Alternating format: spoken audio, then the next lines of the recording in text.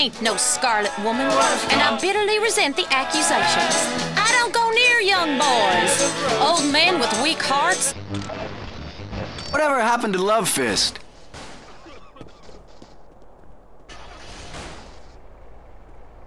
Look out!